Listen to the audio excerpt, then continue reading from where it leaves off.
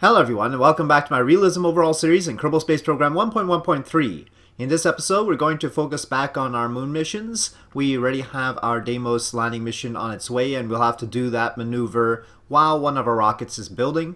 But first let's take a look at our tech tree. We have 961 science to spend and actually what I want more than the science is the upgrade points but I suppose we might as well get this space exploration since it gives us the better landing struts I don't think we're gonna have it unlocked by the time we can do our moon mission, but we might as well try. So that is something we're unlocking. Uh, 711 points left. Uh, Hydrolox engines, J2s. I don't really want the J2s, but I was sort of hoping that we would unlock better RL10s if we unlock this. So that's the thing. Refined rocketry. Um, Hmm. That's the aerospike. That's the aerospike. That could be interesting, but it's probably going to be very expensive. Uh, 9,000 cost. When you consider that my NK15s are 770, uh, that's the price of 10 engines. You're talking more than 10 engines. You're talking about there. Um, and that's not the unlock cost. That's the actual cost of the part. Uh, somebody mentioned SRBs and strapping on SRBs to the Nico 944. There's absolutely no point in doing that, I think, because the SRBs are going to cost too much. Uh, we haven't unlocked any good SRBs lately. You can see large segmented saws are here. But here, here's the UA1205 used on the Titan 3. That's 8,850 each. And that's more than 10 NK15s. I uh, and it provides the thrust of let's say three NK15s. Uh, really uh, two and a half, uh, three. We'll say three NK15s at a really low ISP. So each of these provides a thrust of three NK15s. Low ISP includes the tank and the fuel, obviously, uh, but it's not worth that. It's not going to be able to compete with the NK15s. Uh, let's see uh, one of the um, uh, what was mentioned was the like the Atlas boosters. Let's see, larger solid. It's always larger solids. How about uh, better solids? Um, Castor. Well, that's a space shuttle booster. Obviously, that's super expensive. Uh, nineteen thousand. But I don't uh, see where. Maybe I don't just don't have the part because I knew it was gonna be not used. Also, for some reason, it's not showing up with uh, proce oh procedural unlocks here. Um, I don't know whether that will give us any. Well, here's a Castor one. Those are cheap. Uh, those are 360 a piece, but they provide oh about one eighth the thrust of an NK15, so you need eight of them to match the NK15. Yeah, so it's not very cost efficient at all. The NK15s are cheaper than SRBs. So, yeah, that's our problem right there. So we'll always use NK15 boosters. There's no point using anything else. Um, they have really good thrust-weight ratio, too. So, well, I, I, think we're already unlocking basic solid. Let's take a look at what we're unlocking already. We need to go to construction time. Um, here, uh, landing, basic solids. I mean, I'm going for the solids even though yeah, I don't know if it's going to be any good. Landing unlocks in 23 days. Space exploration, I think, was the one with the better landing struts, so let's move that up. But that's 388 days, which is more than the time we have until uh, the July 16th launch of Apollo 11 and the landing on July 20th. Um, we could, I guess, uh, put a lot of upgrade points into that, but let's see. Um, we don't have that much by way of funds. I don't know whether I, I think I want to speed up the build time more than the R&D time because we're going to be building our rockets and I want a chance to do two missions in the time we have left so 180 days let's say. Uh, not 180 days sorry 120 days. Um, actually that might be too tight. I don't think we can do that anyway. I think we only have ch a chance for one mission before uh, that particular deadline in that case, uh, well, we can't finish the technology in time, the uh, which got um, space exploration one. but we need to unlock much more technology. Well, speaking of that, we could use the funds to buy upgrade points and then speed up the whole process too. And we do have a uh, crewed lunar landing mission here. Duration 1 year, 187 days. Gives us a huge advance, not great on completion, and catastrophic on failure. But we're going to have to try and do this. So let's go ahead. We've picked it up. Now we've got a lot. Now we could speed things up, get a lot. Well, I mean, uh, let, let's go for broke here. So R&D, um, just buy a whole lot of these upgrade points. This is how they did it in Apollo, right? There we go. One science per day. And speed up the build process a bit. I don't know when we get the second build slot. Is there ever going to be a second build slot? I don't know. Um, yeah, well, they, they built rockets pretty fast, too, so let's make sure we can compete. 7.2 build points per second. Okay, well, that's good. Uh, let's try and get rockets to build. Okay, so this is the S4 stage that we were using, but I've decided to put on Nico 1344 so that uh, we have four strap-on boosters, again, NK-15s, because that's the only thing that makes sense. I put parachutes on top to recover them. Hopefully that'll work out all right. And there seems to be a gap here. I, rearrange, I rearranged the RCS on the S4 stage a little bit to make it a little bit better. So there's that change. Otherwise, uh, no changes. No changes to capacity. Even with the boosters, uh, because the burn time on the S4 stage is at its max. We can't really add more burn time, otherwise it'll exceed the max time for those engines. So this time we shouldn't use too much of the S4 stage in order to get it to orbit, and that'll leave more for all the activities afterwards. I could add a little bit more RCS fuel, but I didn't think we needed that. I guess I could up the utilization of that tank a little bit. Just a little bit. Okay, so we will definitely want to build these. Uh, and I say these because I'm I was hoping to build more than one, but maybe we don't have that much time. Let's build one first and then follow up with another. Stagger them. So save. I'm gonna build. Yeah. Oh, it looks like the second one will take 72 days. I guess we had some spare parts. Okay, so here's the Kelly 2 on a Nico 944. It doesn't need any boosters because the Kelly spacecraft is only 37 tons. It's not that heavy. Um, we've made a number of changes. First of all, the suggestion had been uh, to add two decouplers facing different ways in order to in order to make sure that it fell off. Instead, I've opted for a different tactic, which is to assume it's going to stay on and reduce the size of this particular structural part to make sure that we are taking that into account. Um, I think maybe I should make it just a little bit longer. Uh, not that long.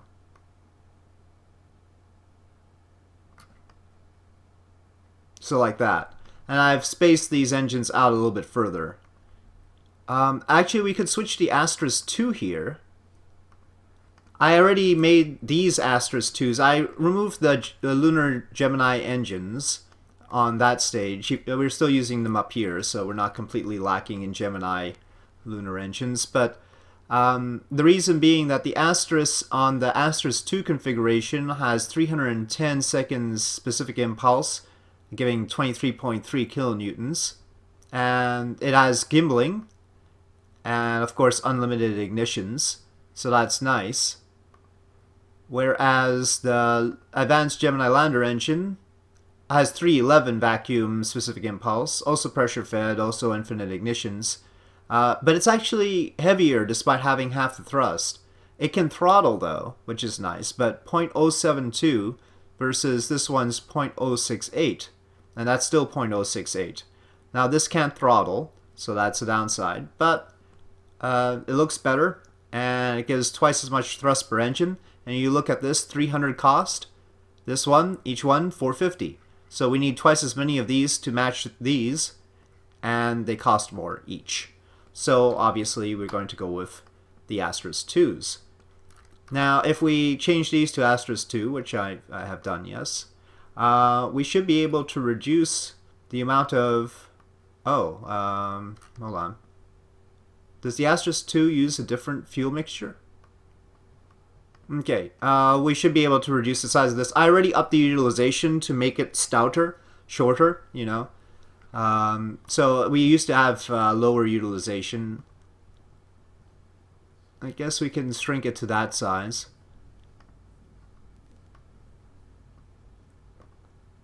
I think around six seconds is nice. I like six sec. Yeah, it's not six seconds. Six minutes is just a nice number to have. Okay, so then we have it like that. Now for this, we can wait until the lander technology is unlocked. I don't know how helpful those little lander legs are going to be, but maybe better than nothing. So yeah, uh, we'll wait on that. We won't build this just yet. I just wanted to talk about some of the changes I made. Also, I... Oh, we can change the solar panels, I suppose. Uh, is there a point to doing that, though? Uh, that, that, that is Mark II, and this is Mark II as well. So just these. 0.0117 tons for 270 watts, 500 cost. And then the newer solar panels that I have here, way more by point, uh, 0.006 tons.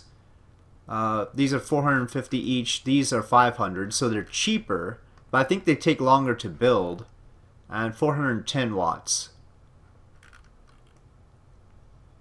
Well, let's see, 43 days right now it says down there. Let me take these off. Uh, still 43 days. Does give clearance for the ladders, it looks like. But these panels don't retract. I don't think that's... Well, for the lander portion, that might be a problem. For this portion, it's not. This portion, it's not. Uh, for the lander, I don't know. I'd rather have them capable of retracting just in case we have some sort of mishap and we want to save them. So let's keep these over here. Alright, so first thing we want to do is complete landing tech in 14 days. So we'll do that and then after that we will complete this S4 stage and we'll queue up the vehicle, the Kelly 2 part of the mission and then uh, before doing this rocket here and then we're going to have to turn to our Deimos mission, do that maneuver node and then once the Kelly 2 is complete we can launch the missions. So we can't launch this one until Kelly 2 is complete because of the boil off issue. Okay, well I don't have any tweak scale or anything, so this is all I can do with these little landing legs. And I guess we'll move them a little bit further down.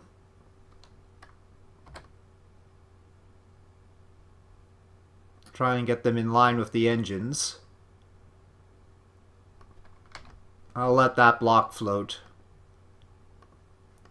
And so they'll be retracted like that. I don't actually... It, it might not even matter whether they're extended or retract. Well, they do poke out of the fairings a bit. Okay, well I don't know if they're gonna make things bounce all over the place or whether it's gonna be a good idea. As far as Delta V is concerned, it doesn't change much. So yeah, they're on now. How heavy are they? Mm, 0.01 tons apiece, so not gonna make a huge difference. We're going to save. Hope everything is alright. And build two of these. Okay, so we have an S4 stage on an Eco 1344 waiting in storage. The Kelly 2, the first of our Kelly 2s, will be done in 43 days. Um, we could speed that up a bit, I guess. Uh, we can rush build, but that's costly compared to the cost of the rocket. Uh, but maybe we should just focus on the Deimos mission now. So let me time warp. Communication. Ah, well, we do have a minute of signal delay, minute and six seconds, so gotta take that into consideration. Not really, smart ASS and all, but I'll need to turn on the RCS at least. Currently no encounter with Mars, so we're trying to make sure that happens first and foremost. We'll have to cut the main engines well ahead of finishing the maneuver because otherwise the maneuver will wander, Smart ASS will try and follow, and I can't re-engage SAS just yet. Okay, well there is the encounter coming up rapidly. I'm going to use RCS. Just wanted in line with Deimos. And really probably rather closer than that. Okay, well at least that doesn't look like a horrible start.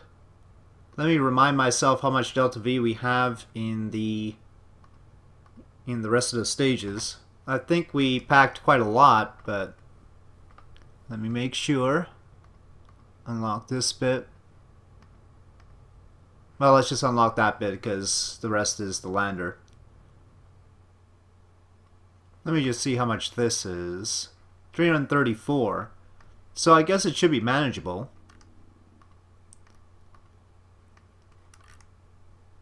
Let's wait on all these other things and just get into orbit like this and then the rest should follow, hopefully. So, this maneuver is acceptable, I think, and we are going to, and uh, charge seems fine, everything seems fine, so we are going to add this to the alarm clock. Okay, so this is all set. Alright, ladies and gentlemen, it is June 20th, 1969. We have built both parts of our mission, and we are going to roll out the S4 stage. That's five days on that. Our uh, next attempt is already under construction. And this time we do have a contract and we really must fulfill it because we're going to blow our budget otherwise. We have some time to fulfill it, but not a whole lot.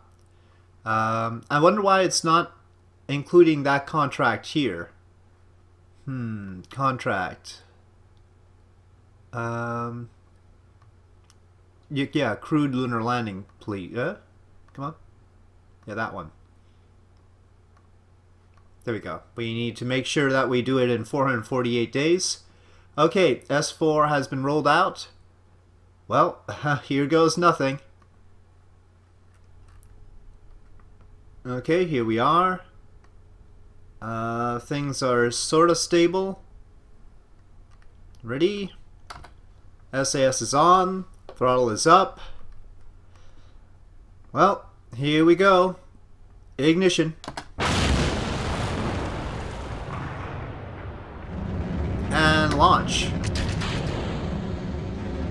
All 13 engines are are ignited nominally.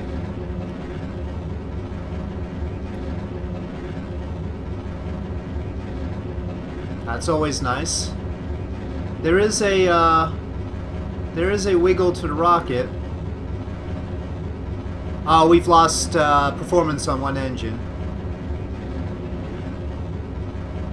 Well, that could uh, contribute to a wobble, for sure.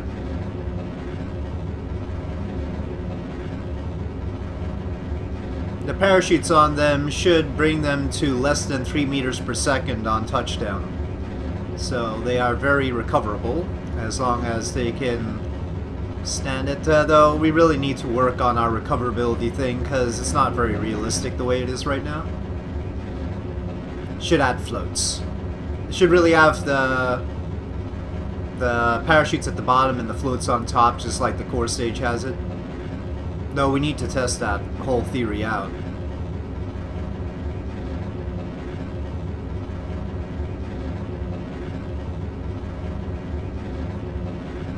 Okay, getting ready for booster separation.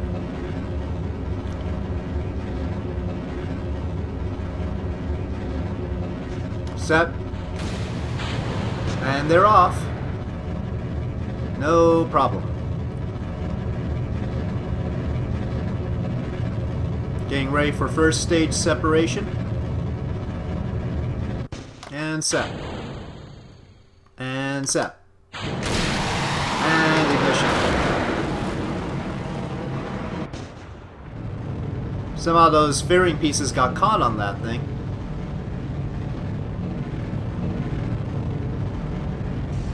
Uh, we have lost one engine on this stage. One of the NK-15Vs has been lost. Fortunately, the burn time for these engines don't isn't scratching the burn limit for them. The rated burn time for them, I think, is like four minutes. We only burn them for three minutes, so it should be all right.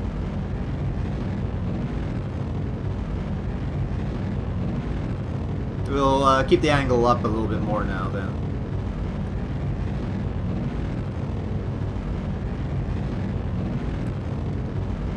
So, so far, uh, one and a half engine losses. We'll call performance losses one half of an engine loss. So one and a half on this launch.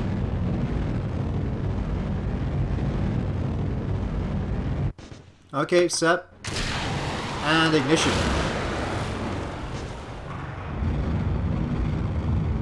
Okay, NK-19s have ignited. We are uh, still go for orbit on this stage, which means we don't really need fuel from the RL-10s to do the job.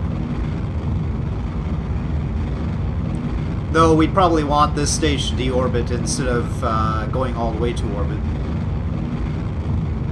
So redundancy, we're good. Uh, adding four boosters uh, should increase the capacity of this rocket by quite a lot more than we're testing it out to, uh, to handle. Uh, right now you can see our stage time plus our orbital velocity would bring us to more than 8,300 meters per second and we only need 7,800 so we have a surplus of about 500 meters per second despite the engine troubles that we've had. Let's see about the recovery. Uh, this is the core 5.71 meters per second, recovered covered for most of its values. Out of 16,773, we got 16,254 back. Uh, this is one of the boosters. Terminal velocity only 2.35 meters per second, so very slow impact. And they're um, all but 80 funds recovered. Same for the other boosters. So it's a good deal. We should make those boosters like landable or something. Unfortunately, there's no multiple ignitions on these guys, but maybe if they add little little side engines or something, they could do a whole Falcon landing thing. We need some small, relightable kerosene engines that work well on the surface, obviously. Okay, approaching orbit, getting ready to shut this engine down. Making sure it re-enters.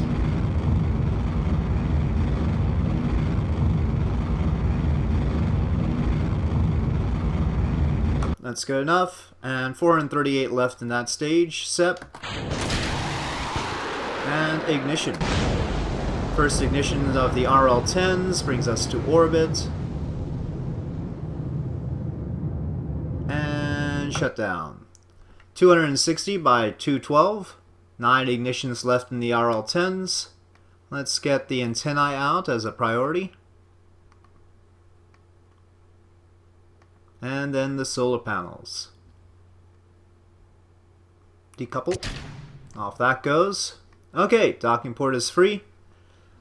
And this is all ready to go. Looks good. Recharging and everything. Uh, some boil off on the hydrogen, so let's get going with the other part of the mission. Okay, it is June 30th, and we are about to launch the Kelly 2 spacecraft. We are not going to have Bob and Bill in there. We are going to have Um, well, all our pilots are pilot one. I guess we'll have Valentina do it. And then we'll have um, we'll have Alan as our engineer. Bill hasn't actually gotten any experience or hasn't got enough. Alan is our most experienced engineer, so we'll send Alan. Or we could send two pilots. Um, I don't think that we're going to be needing an engineer. Maybe I'd feel a little bit better with two pilots. Nah, I don't see any particular reason for that. Engineer it is. Alright, let's launch. Okay, that should be enough. Let's take a look. It's um, it's over there. Valentine and Alan ready for launch and ignition. And launch.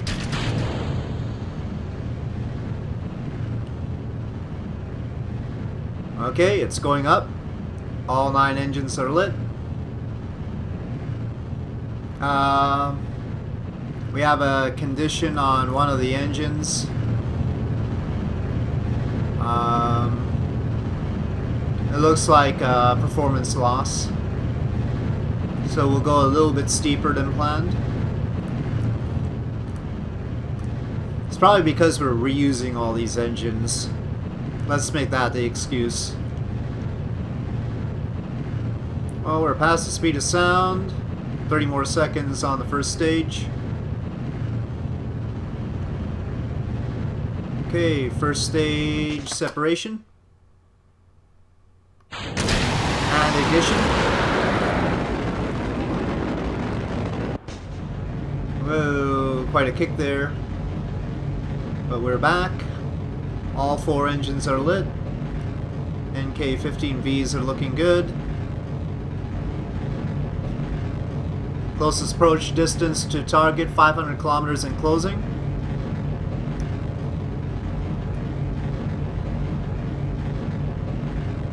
Alright, launch escape tower jettison.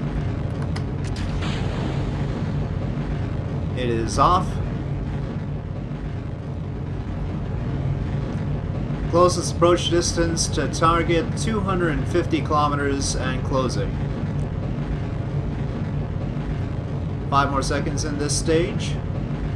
There's some sort of staging mishap here, so let me take care of that. Okay, set. And ignition. Alright, the second stage was fine, and we continue with the third stage. There's a lot of questionableness on this particular staging, so let me correct that. Current distance to the target is 1,200 kilometers. Closest approach distance 200 kilometers and closing. Looks like our time to closest approach is a lot like our stage time right now, which I suppose is good. Distance to target now 500 kilometers, closest approach distance 124, relative inclination less than 0.5 degrees.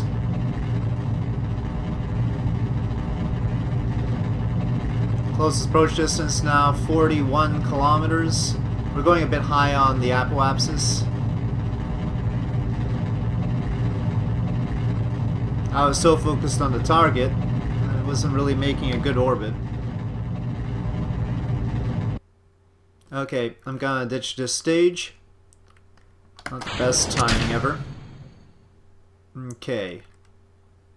And we're going to have some time to plot this because we've got 12 minutes to apoapsis and the apoapsis is quite high.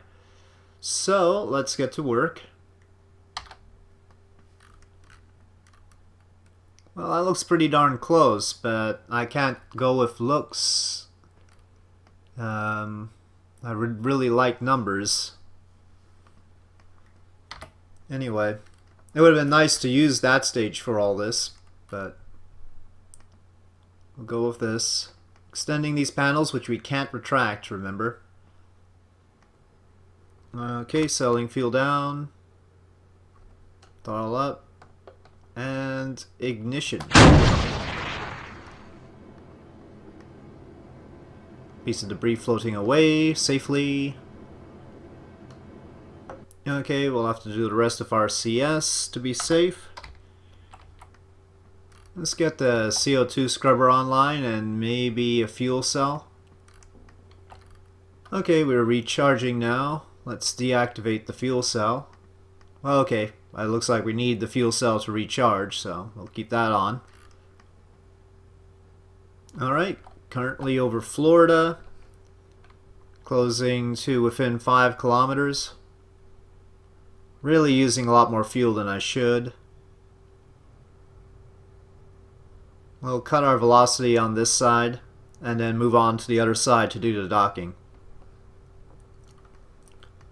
So now it's all RCS. Where's our target? There it is. And it looks like we should kill some velocity in this direction. Off, off, off. Just stabilize. Forward. Well, it doesn't seem like I can get closer than 140 meters for some reason. Okay, and then engaging time warp causes a leap. Okay, well, we've got a really close approach, but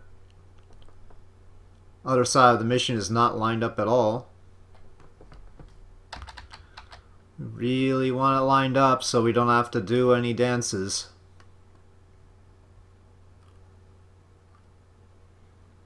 Well, we are approaching sorta carefully. Tough to say.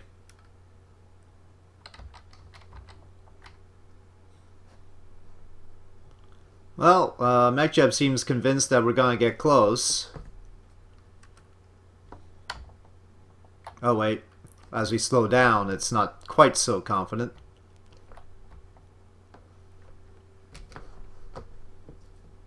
Okay, we no longer have a prograde vector because, well, we're going so slow with respect to the target. It's not going to show it. Once again, will we have reason to thank the inventor of docking port magnetism? Probably.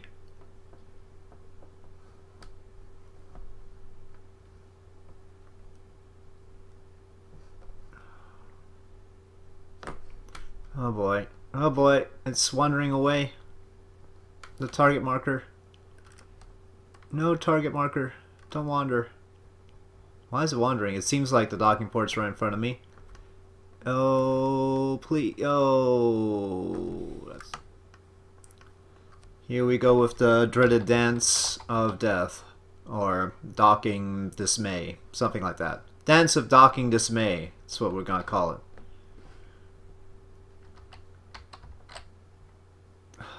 Using the negative parallel thing, which is a nice thing to use, is tough because um, SmartASS wants to wiggle so much.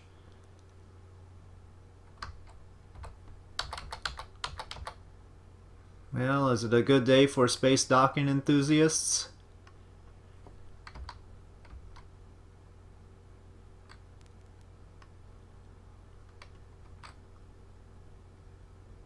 Maybe.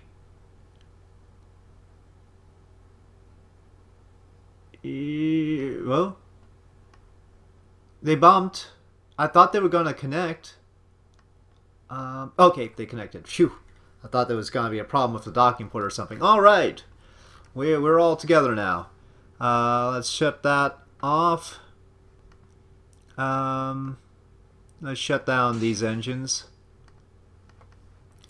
Okay, and then control from the right direction, control from here. We have 3,299 meters per second to work with with the RL-10s, which should be enough to transfer us to the moon. So let me make the plot. I don't think I can finish that in this episode, so that will have to happen in the next episode. But let me plot it out and show you what I've got. Okay, well, we're going to try and uh, do a pseudo free return trajectory kind of thing. Um, though that's a wicked sort of resulting orbit. But we're coming around the right way around the moon. And I flattened it out just a little bit because it, it had a lot of inclination to it. But this allows us to hit quite a quite a few possible places. But we're going to be hitting the far side of the moon uh, from Earth because that's the lit portion right now. The it is apparently new moon, so yeah, we won't be... The communication situation might be a little bit choppy. We'll see. We've got other satellites around the moon helping out, but uh, remember, we've got a module... The, the stage that's supposed to return us uh, is independently controlled. It's not... doesn't have a Kerbal, right? So we'll have to see about that. Anyway, but this is the plan, and we'll get to 80 kilometers with a burn of 3,135 meters per second, which is well within what we've got in the RL10 stage. So, on that note, thank you for watching. I hope you enjoyed this video. If you did enjoy this video, please do press like. If you have any comments or suggestions, please leave them in the comment section below, and I'll see you next time.